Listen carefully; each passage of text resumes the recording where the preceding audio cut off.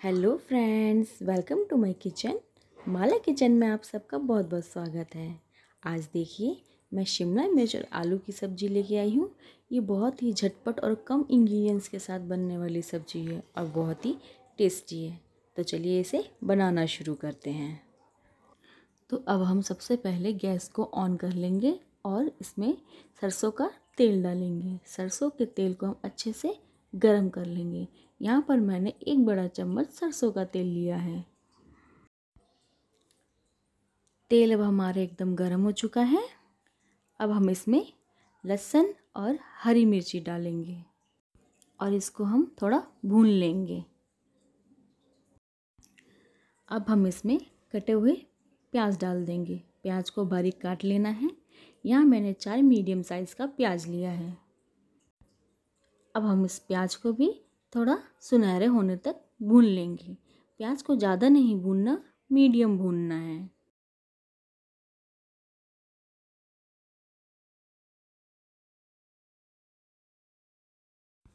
प्याज हमारे एकदम बढ़िया से भुन चुका है। अब हम इसमें शिमला मिर्च डाल देंगे। शिमला मिर्च को हमने पतला पतला काट लिया है। यहाँ पर मैंने 500 ग्राम शिमला मिर्च लिया है।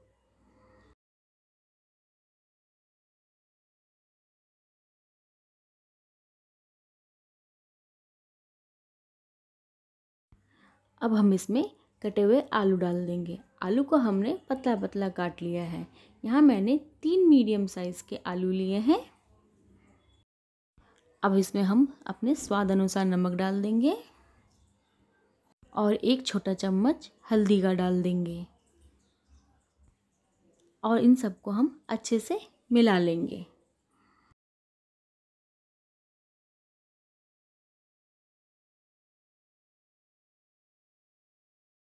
सब्ज़ी को अच्छे से मिलाने के बाद इसको हम ढक देंगे और 15 से 20 मिनट के लिए पकाएँगे।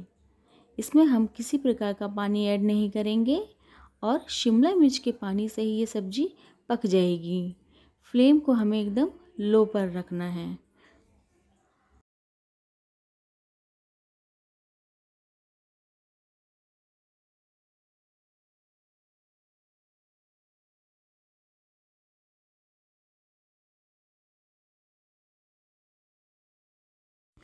सब्ज़ी हमारी एकदम बहुत बढ़िया से पक चुकी है। अब हम इसमें मसाले डालेंगे। मसालों में हमने सबसे पहले पिसा हुआ मसाला डाला है एक चम्मच।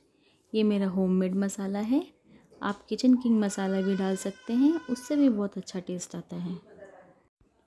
अब इसमें हम एक चम्मच कसूरी मेथी डालेंगे और एक छोटा चम्मच अमचूर पाउडर डालेंगे। इसमें हमने टमाटर नहीं डाला। इसकी जगह हमने अमचूर पाउडर डाला है। इससे बहुत अच्छा टेस्ट आता है। अब हम सब्ज़ी को अच्छे से मिला लेंगे ताकि सब्जियों में मसालों का टेस्ट अच्छे से आ जाए।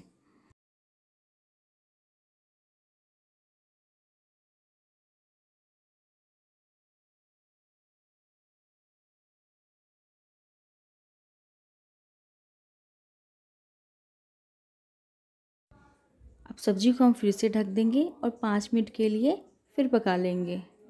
ताकि मसालों का टेस्ट सब्जियों में अच्छे से आ जाए। अब हमारी सब्ज़ी बनकर बिल्कुल तैयार है। देखिए कितना अच्छा लग रहा है। बहुत अच्छी खुशबू भी आ रही है। आप इसको पराठे, रोटी पूड़ी सबके साथ एंजॉय कर सकते हैं। तो चलिए अब इसको हम सर्व कर लेते हैं। तो है ना ये बहुत ही कम सामान के साथ बनने वाली झटपट सी रेसिपी और खाने में भी बहुत टेस्टी है। अगर आप लोगों को मेरी ये रेसिपी अच्छी लगे तो मेरे चैनल को लाइक शेयर एंड सब्सक्राइब ज़रूर करें। तो हम मिलते हैं अगले वीडियो में। बाय